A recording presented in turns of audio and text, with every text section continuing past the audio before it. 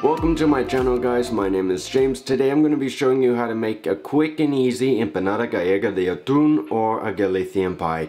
Before we jump into it, be sure to like the video down below, to subscribe to my channel if you haven't done already, and let's get going.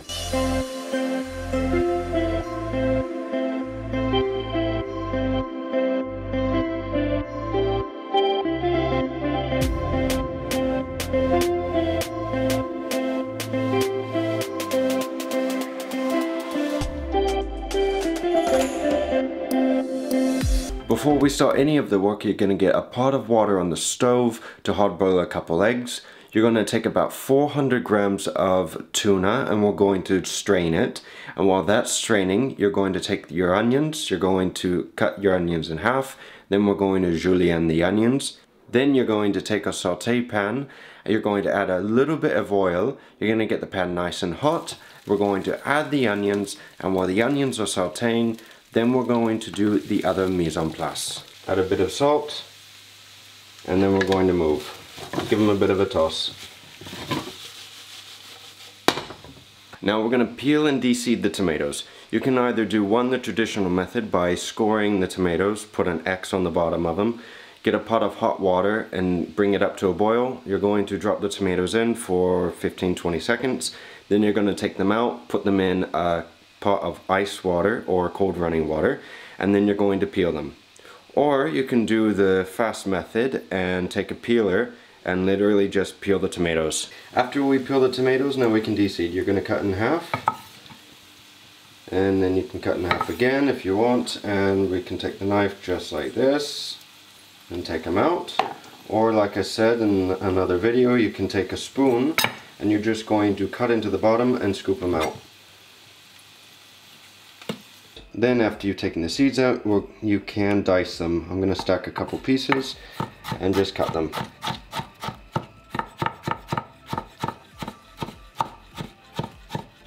Now we're going to be deseeding and dicing the peppers. Now you can add more than just one if you want to. You don't have to use just one. But it's all to your preference. Add the peppers in. Saute the peppers and the onions. Now we're going to take a clove of garlic, cut off the end, smash it, and we're going to mince.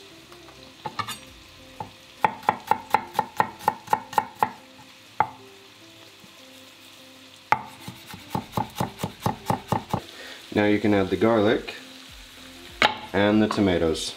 Be sure to add a little sugar to it to counteract the acidity of the tomatoes now we're going to let this cook for another 15 to 20 minutes on medium heat. Keep an eye on it, keep moving it. And now we're going to take the eggs that we cooked earlier, hard-boiled eggs, and we're going to crack them. Then you can slice your eggs any way you like. If you have an egg slicer, it's a lot uh, faster. After about 15 minutes, you're going to turn off the fire for your mix and you're going to add the tuna. Add it all in. We're going to give it a mix. Try not to smash it too much. Then you're going to strain the rest of the mixture. We want to drain all the oil that was in the pan. Don't throw it away just yet because you can reuse this if you want. Now one important thing, you want to let this sit and cool down. It's very important to add this to the dough when it's cold, not hot. Right, to start the dough, you're going to take 530 grams of white flour. Then we're going to add about 10 grams of salt to the flour and you can add a little less if you want. Then we're going to take 6 grams of active live yeast to 200 milliliters of lukewarm water. Just add it to the water, then you can mix with a fork or with whatever. Now we're going to add the yeast and the water and we're also going to add the oil that we saved from straining the tuna. Then you're gonna put in the mixer, if you have one, and mix for about 10 minutes. If it needs a little bit more water, then add just a little bit more to it, the mix. And if you don't have a mixer, like me, you get to exercise for the next 10 minutes.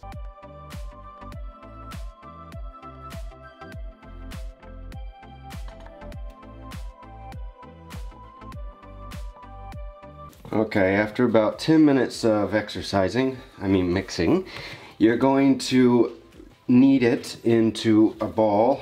You can put a little bit of extra flour on the board if you need to, but you're going to shape it into a ball. Then we're going to put it back in the bowl that we first put it in.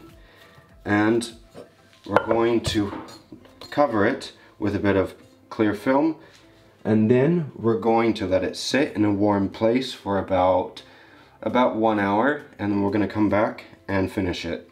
After your dough is risen we're going to take it out of the bowl and now we're going to cut it. You're going to divide it into two pieces. One for the top and one for the bottom.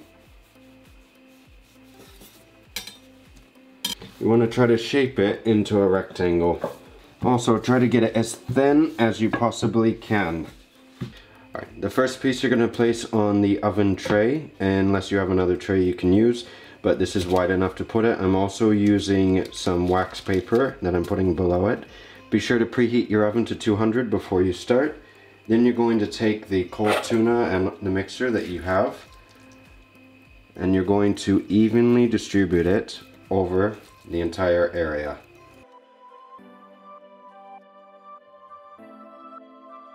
Then I'm going to lay my eggs. You can put in any way that you want to decorate it.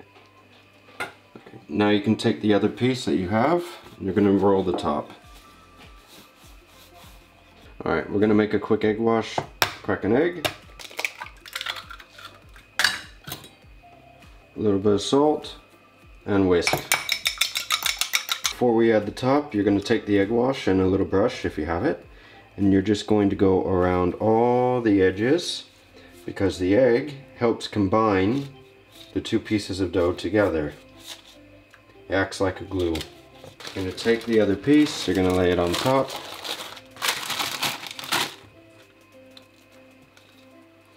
Now you're going to pull the sides and we're going to fold give it a little bit of an egg wash if you want so it sticks together because right now you're going to make a decorative little pattern around the border.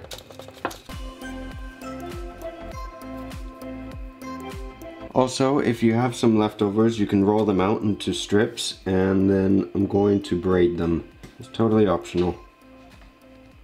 Once you have the borders all set, you can egg wash the spots that you're going to put the uh, decoration. I'm going to do it on the ends. Then I'm going to lay them down. It's a little too much and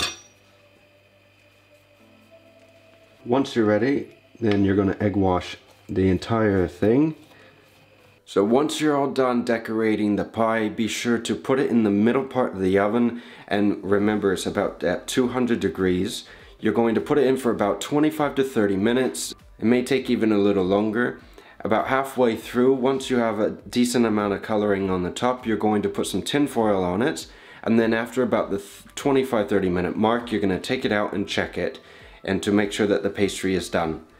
Once it's finished, you're going to let it rest and then you're ready to serve.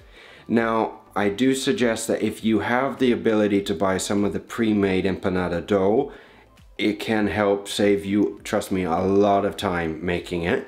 But if you want to impress some friends or family, then you should definitely make it yourself because it's better quality. Anyway guys, I hope you enjoyed the video. Be sure to subscribe to the channel if you haven't done already. Like the video down below and I'll see you again very soon.